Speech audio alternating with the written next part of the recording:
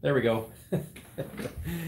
hey guys, uh, Mike Warwick, our body shop manager, just shared a book with me that I can borrow. I cannot have this book, but I can borrow it. And he needed to share it with all of you.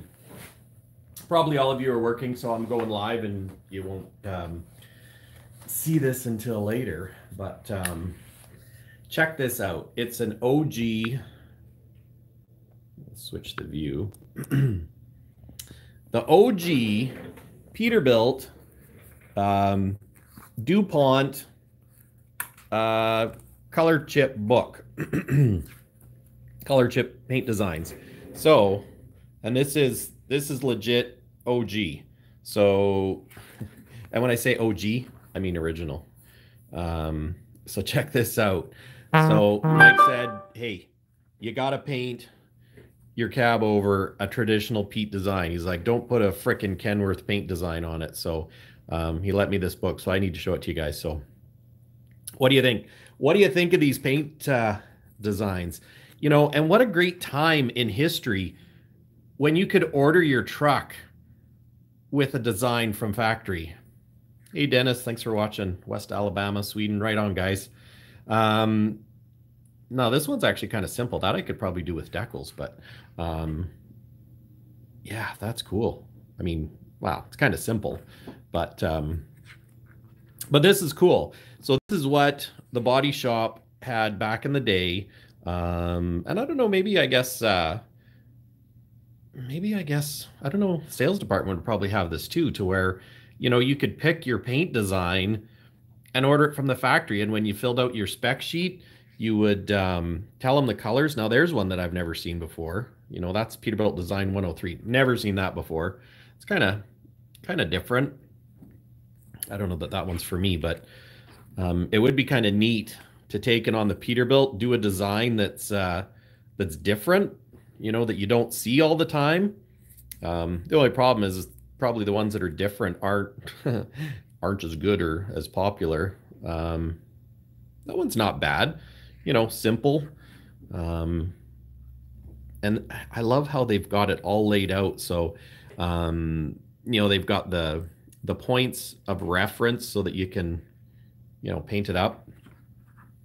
And uh, yeah, ah, it's okay.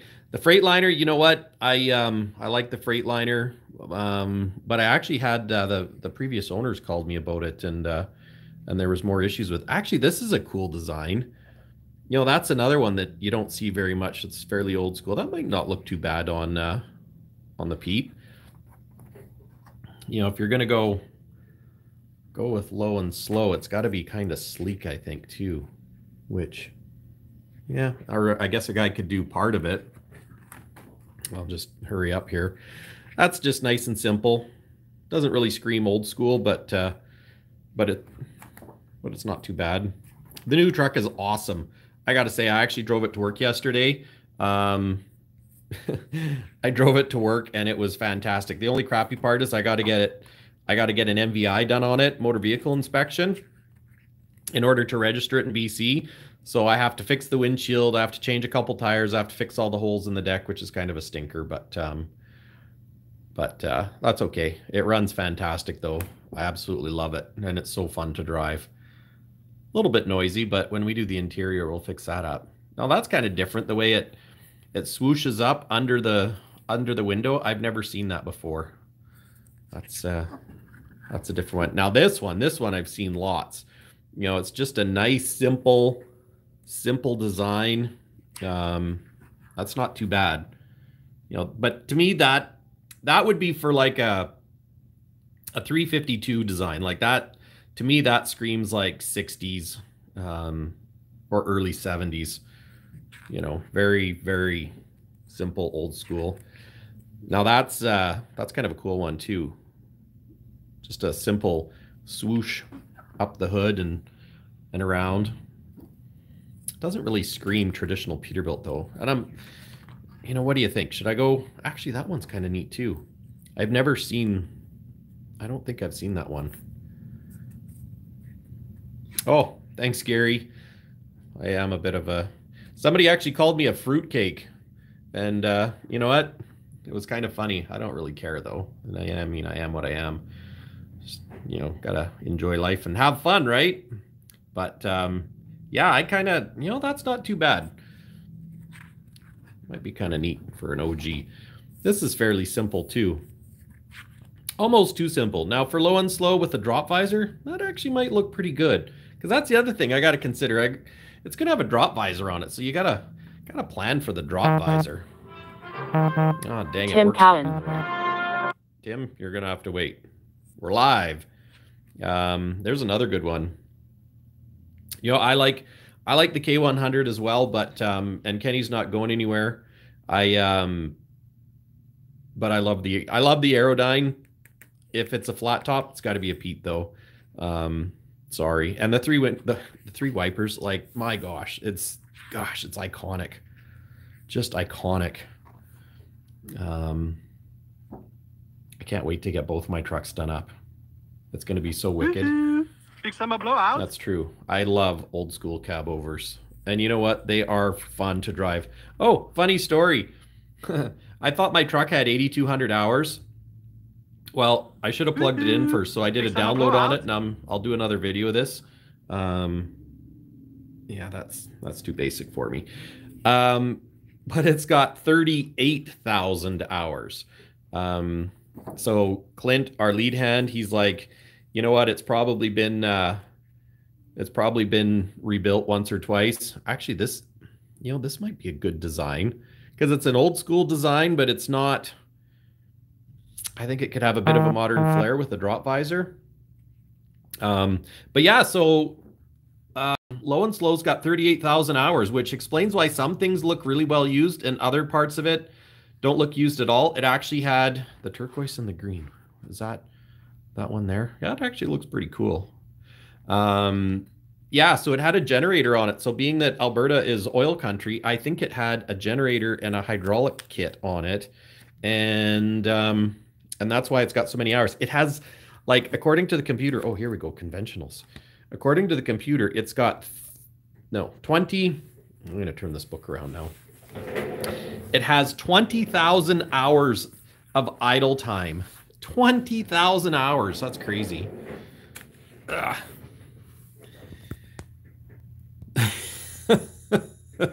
That's awesome. Uh, it's all good. I um yeah, I just oh yeah, and of course now it switches back the other way. Like this is totally the OG color chip book. Sorry about the ugh, terrible terrible videography. I should be working on a well, I was working on a spec and then Mike brought this to me and I was like, you know what, I gotta share it with the guys because um because it's just cool. Now this one, uh, Ron Stokes, a customer of ours, built a truck.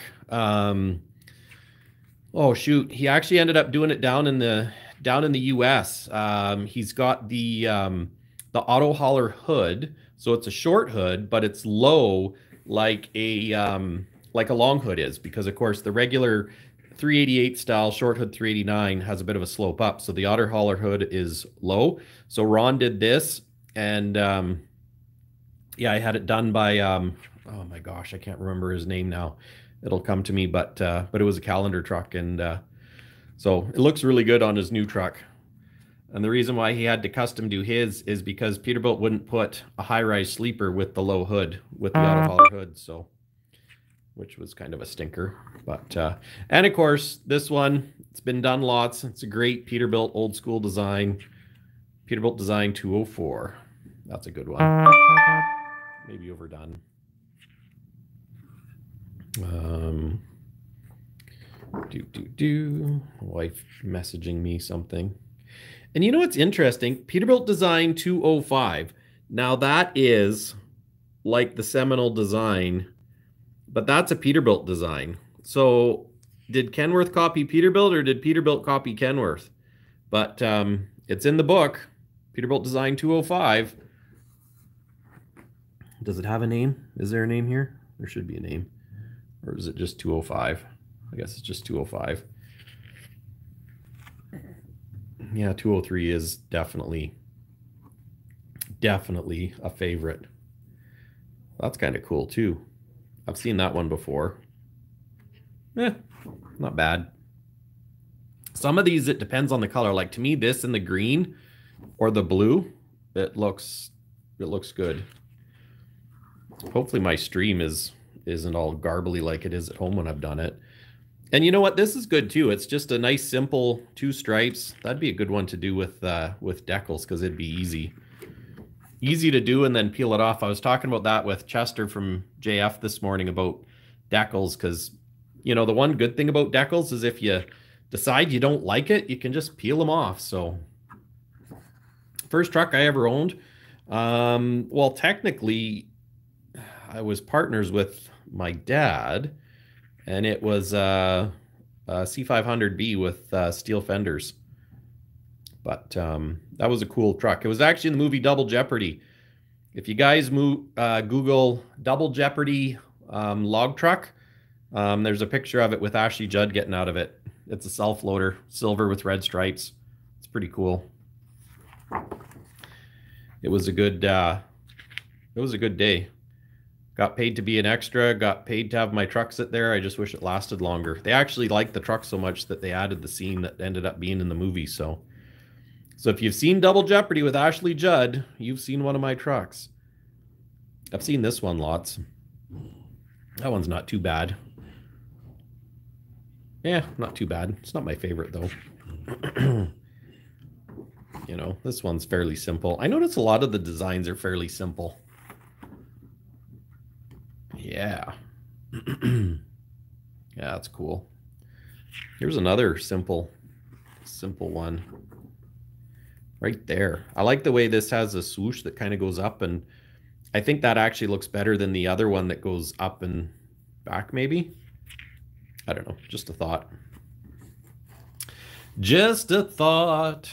And that is the beauty. Like, could you imagine being back in the day, ordering a new truck, and it's like, well, which Peterbilt design would you like? And getting this book and having to figure out, like, ah, that was a golden age. You know, nowadays it's like, oh, we're gonna paint some trucks. We'll do black and white and blue, like boring. You know, and now it's this huge ordeal to do stripes. But back in the day, it was it was the norm. Like, you know, like look at this. Look at the attention to detail and how many options and you know customization and style and and class. Like, you know the these huge fleets are kind of kind of making it i don't know. If i had a huge fleet of trucks like okay say i was walmart you know what? I would do a funky design a real classy design. I mean what's so original about a white truck? Nothing. You know you could have a full aero truck and still have it look classy. That actually looks pretty good. I think it looks better there than than uh Oh yeah, thanks, Ron. I um absolutely love the new Pete. Love it. I tell you guys, it was so fun driving it home. Other than it's got a drone, but it was a cheap, cheap base model, I think. So it probably doesn't have much uh, insulation. Well, that and it doesn't have cab air suspension, so it's it's uh, you get a bit of drone through the cab, but uh, but it's cool. I can't wait to straight pipe it. I actually got a a single straight pipe, a factory. Well, actually, it was a screw up on my part because I ordered a truck with. Uh, grass burner exhaust and I actually had accidentally had the stack coming up behind the sleeper. So of course we're taking that off, but now I got a straight stack from behind the sleeper. So that's pretty handy. So yeah, anyways, I had to share this with you guys because this is like super cool. Um, I don't know which design I'm going to go with on uh, on low and slow, but it's got to be it's got to be a traditional Peterbilt design, I think. That would be kind of cool. Um, I could, well, I actually did get the Jeep on the back, but I didn't, um, yeah, I didn't, uh, I ended up not loading it up because we were in a hurry. So, yeah. Yeah, the 90s were good. The 90s were really good back in the day when diesel smelled like diesel. But um, now I forget what I was talking about. Um, yeah, actually, you know, would it be cliche to do like the traditional the traditional design you know that's been done so much i don't know i don't know chicken lights and chrome heck yeah heck yeah Actually, going to put my Super Duty. I got it figured out how I can get the the cab over in the low and slow in the shop this winter. I'm going to have to load stuff on the back, but I think I can make it work. So we'll see. Yeah. Where's 103? Is this 103? No. Which one's 103? 104. 102. Oh, hey, these aren't in order either. 102. I had my favorite there too. Which one was it? I kind of dig that one, you know. It's kind of got a retro a retro feel to it, but I wonder what it would look like with. See, and that's a problem. You know, when you look at this, you got to think about what's it going to be like with a drop visor. Cuz it's getting a drop visor.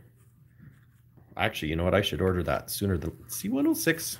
Yeah, I don't know. I don't think this part would work on my sleeper.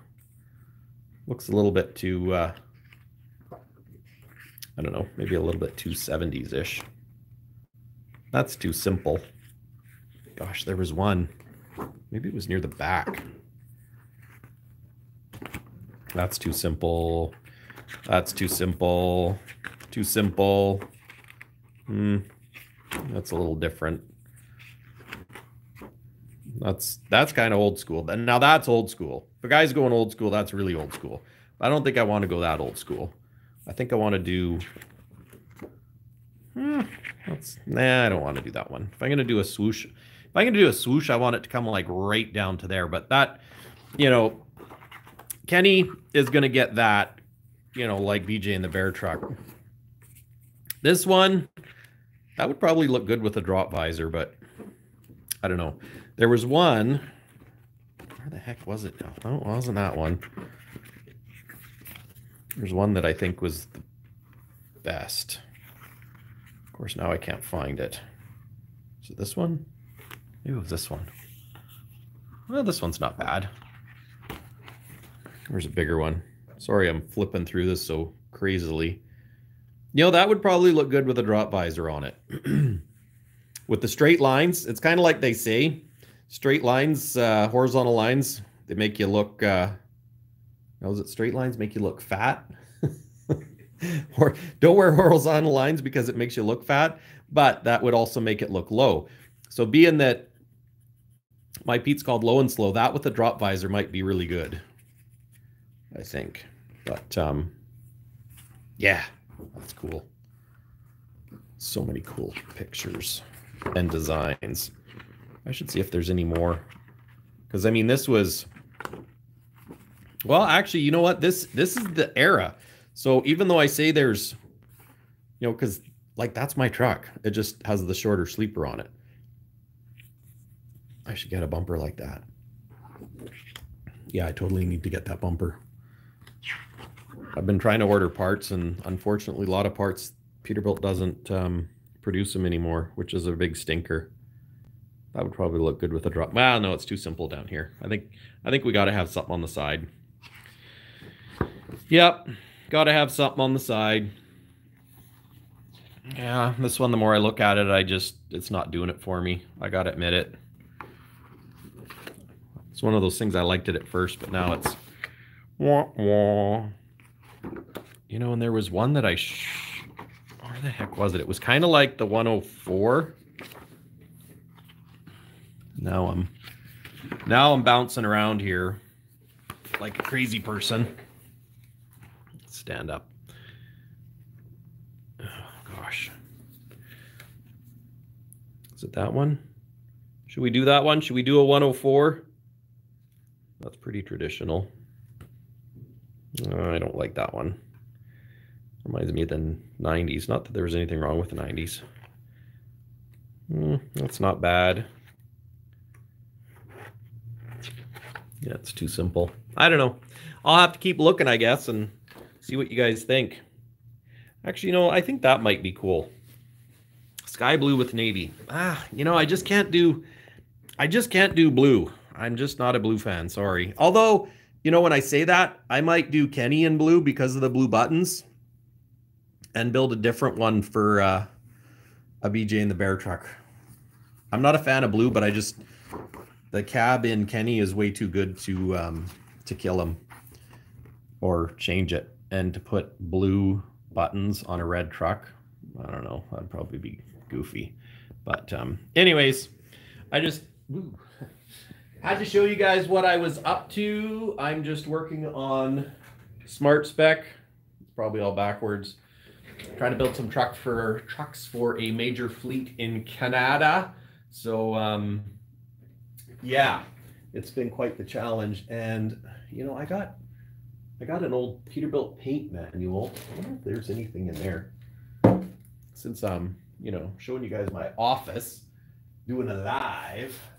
This is Andrea Chamberlain. Oh, Sorry, honey. We'll get back to you. So just do a quick, quick look in this book too.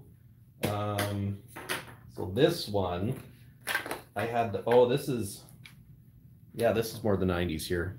Pitch this out for you. Okay. Nope. Oh, that wasn't there. There we go.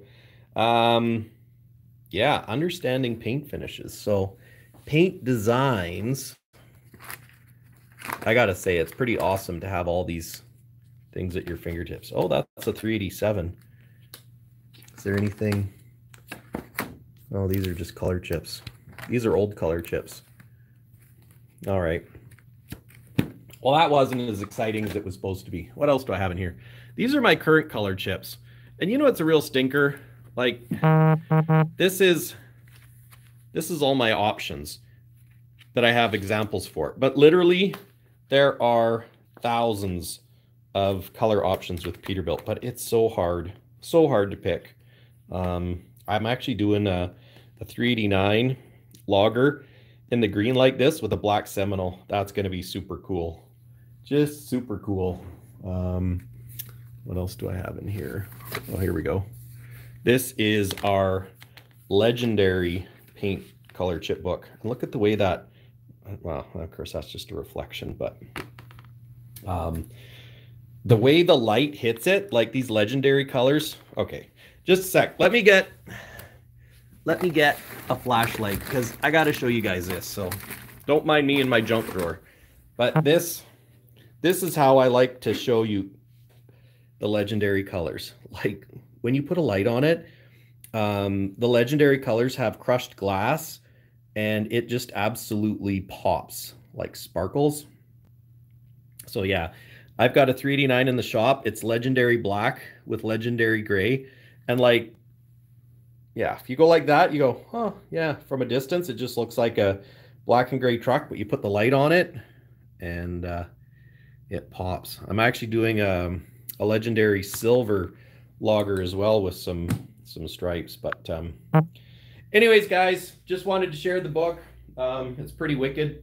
OG color match, color match, the OG um, paint design book because I'm I'm gonna I gotta pick out a design. I mean, I'm not doing it right away, but I'm gonna have to pick out a design for uh, for low and slow, and it's got to be cool because it's gonna have straight pipes and it's gonna have a drop visor.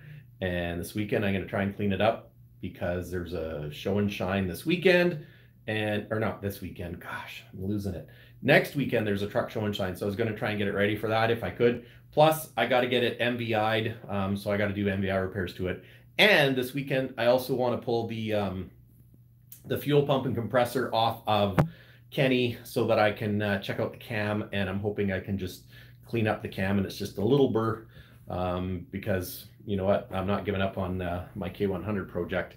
If anything, this is going to make it easier because I can play with um, low and slow, and it's going to be it's going to be kind of fun because I'm going to have low and slow for you know kind of like a a utility retro, well not retro, but almost like a hot rod truck. That's what I want to do, like a custom truck, and then um, and then with the deck on it, I can do all sorts of things with it. I can haul firewood, I can go pick up other trucks, I can haul dad's backhoe. Um, you know, and Kenny, Kenny, I'm gonna Mac Daddy him out when I get him done. Um, and like I say, there is another K100 that I actually put my name on, but it doesn't have an engine and transmission. So, and I'm in no hurry for it.